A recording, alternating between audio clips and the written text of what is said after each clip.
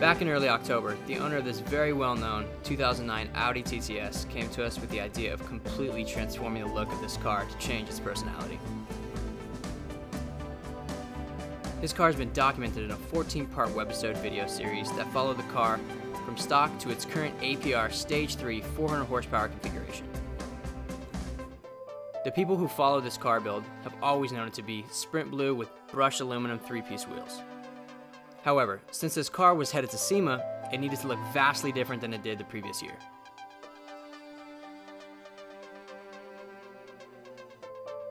We had seen a recent 3M commercial graphics catalog with a matte army green film that we thought would look amazing on the right car. This TTS seemed like the perfect candidate. We ordered a sample, showed it to the owner, and presented our idea to go all army green with matte black wheels and body trim.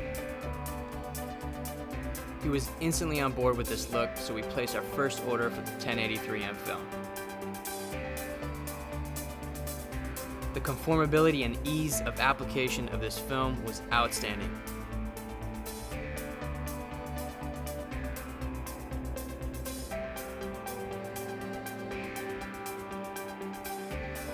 Working with a Scotchprint 1080, we had no reasons to sweat the most difficult contours on this car.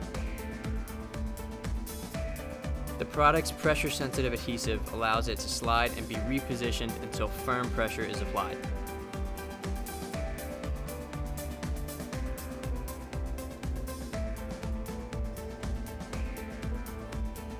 With over 30 different colors and a variety of finishes, we're planning to use quite a bit of the Scotchprint 1080 line.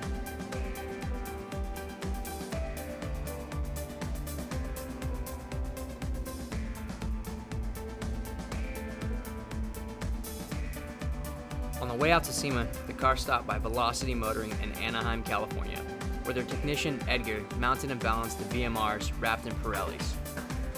For the new, more aggressive and gritty look, the owner opted for the concave face V713 wheels in matte black in 19 by 9.5 with a 45 offset, which sits perfectly at the edge of the fender.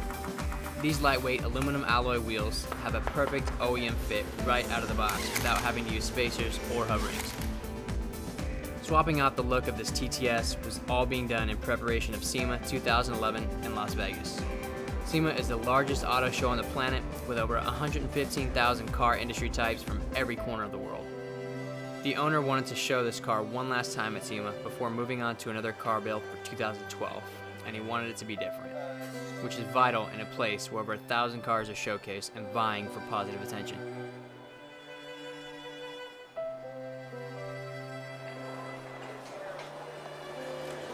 It seems to have worked because the forums are all abuzz with threads on this car, which is exactly what we'd hoped for. Once the TTS was back in Northern California, it went out to Moffett Field for a true military-inspired photo shoot and filming session. Here's what the day looked like.